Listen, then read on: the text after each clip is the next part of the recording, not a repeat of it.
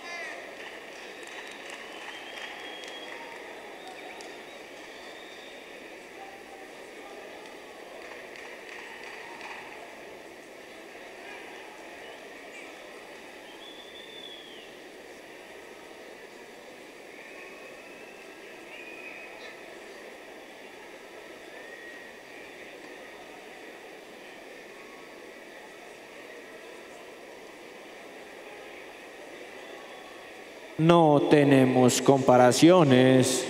Se diligencia formato F2.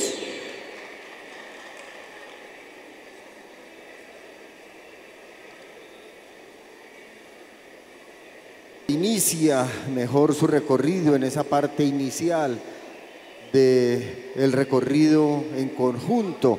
Cuando va a su prueba individual a realizar la figura del 8 vemos que tiene dificultad gira de una manera recta, no incurva su cuerpo y por supuesto que va afectando el conjunto y ese puntaje final.